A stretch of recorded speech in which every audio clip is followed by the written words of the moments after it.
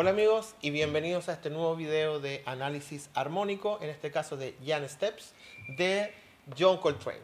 Eh, vamos a analizar la primera vuelta de la línea que ha hecho Paul Chambers en, el primer, en la primera grabación de este tema y está escrita específicamente para el bajo, por lo tanto está en llave de Fa y leeremos, ¿cierto?, una octava más arriba de lo que realmente suena.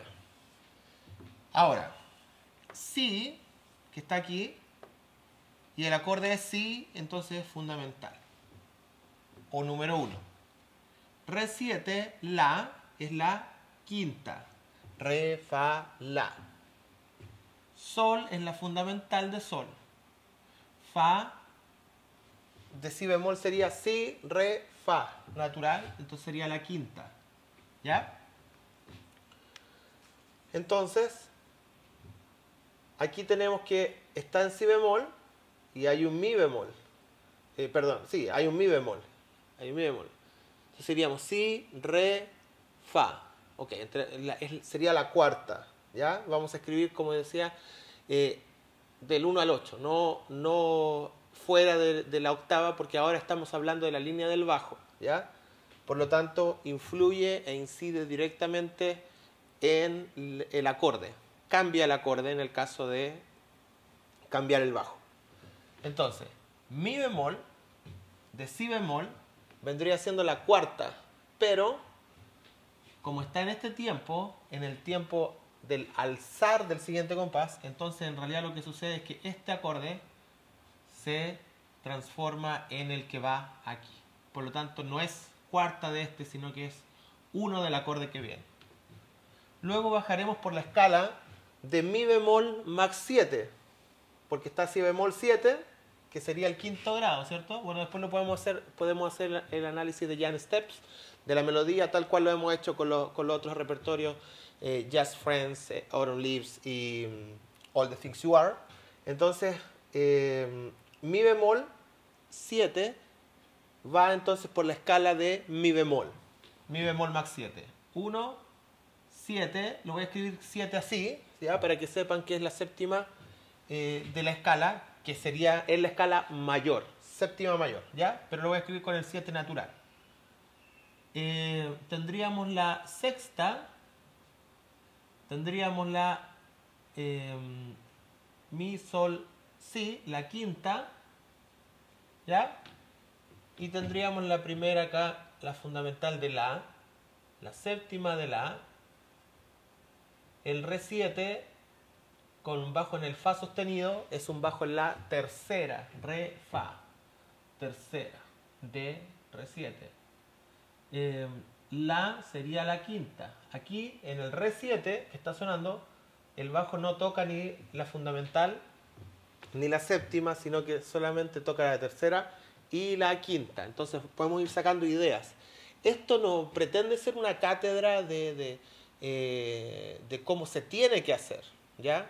Esto es como se dice que Paul Chambers improvisó esta línea, no la escribió. O sea, no, no se sentó y dijo esto voy a hacer, sino que se, eh, y, la voy a escribir, sino que se sentó y la, y la tocó. Si es verdad, no sé, pero ahí se la dejo. ¿ya? Entonces lo que él hizo fue aplicar, eh, si es que hubiera sido así, aplicar el, digamos, el conocimiento que él tenía. Y eso es lo que tenemos que hacer, ir viendo, ir sacando conclusiones, ir sacando ideas, ¿ya? Entonces, eh, porque yo también me puedo equivocar en el análisis, como ya lo he hecho y ahí hay una persona que me está corrigiendo, fantástico, eh, porque nos ayuda a todos, ¿ya? Esto. Entonces, sol, fa, quinta, mi bemol, 1, eh, de mi bemol, fa sostenido con la sostenido, sería la tercera. Ven, aquí ya me estaba equivocando. Es do sostenido, porque estamos en la, llave de fa. ¿Ya? Do sostenido. ¿Sí? Entonces fa, la, do, es la quinta. Y si se fijan, aquí utilizó la misma idea que aquí.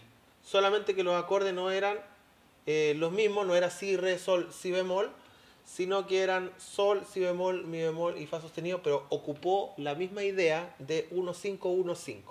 Y acá de nuevo lo que hace es adelantar el si con la fundamental, ¿ya? Pero ahora lo que hace es decir si, re, fa, quinta, fa, em, si de nuevo, fundamental, quinta de nuevo, pues sostenida hasta ahí, luego fa natural, 1 de fa menor, sol, 2, ¿ya? Recordemos que hacemos 1, 2, 3, 4, 5, 6, 7, 8 porque son líneas con giros melódicos. La línea del bajo es una voz de la armonía.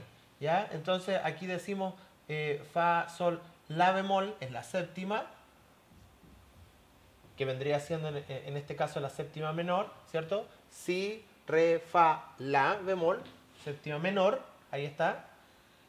Y luego Si bemol, La bemol, Si bemol, que sería la fundamental. ¿Ya? Es decir que para un acorde, por ejemplo, aquí tenemos otra idea. Cuando tenemos un segundo quinto, segundo quinto, este es un segundo, fa menor, quinto, si bemol, de mi bemol, ¿cierto? Podemos utilizar este dibujo. 1, 2, 7, 1. ¿Ya? 1, 2, 7, 1. Podemos utilizar ese dibujo. Son ideas. Mi bemol sería el 1 de mi bemol, mi, sol, si bemol, la quinta. Importante siempre, 1, 5, siempre tienen que estar en el bajo. Importante cuando uno toca el bajo, tocar el bajo. Nos cuesta todo a veces cuando queremos tocar más notas, ¿ya? Pero es importante tocar el bajo. Y el cuarto, de la escala de mi bemol también, ¿ya? Eh, es, perdón, perdón, perdón. Ya me está equivocando, ¿no? La tercera, aquí está. La tercera. Y volvemos a la tónica. Es decir, ahora sí, tenemos un arpegio de mi bemol. Mi bemol, si, sol, eh, mi bemol. Está como quebrado el arpegio, ¿cierto? Hace mi bemol, si, em, bemol, sol, mi. ¿Ok? Luego la, que sería 1. La. Re. Aquí tengo yo una pequeña, eh, una, pequeña intuición de que en realidad este re no sería eh, la, cuarta de, de, la, ¿ya? No sería la cuarta de la, sino que ya está de alguna manera preparando el re 7. Puedo estar equivocado, ¿ya? Pero como el análisis es mío, lo voy a hacer así. 1, 2, 3. Pueden haber distintos análisis, ¿ya? Así que eh, ustedes ven ahí cómo le acomoda mejor. La idea es que ustedes lo, lo vean. 1 de sol, 2, 3, 1. Después dos sostenidos sería aquí mi tercera, ¿ya? Que es la tercera menor. 1, 3, 1, 1, fa, la, do, el quinto. ¿Ya? Luego, si, 1, re, fa, quinto. Eh, de nuevo, si, 1, de nuevo, fa, quinto. Aquí se repite una vez más lo que, lo que estaba ahí arriba. Acá. 1, 5, 1, 5. Turiti.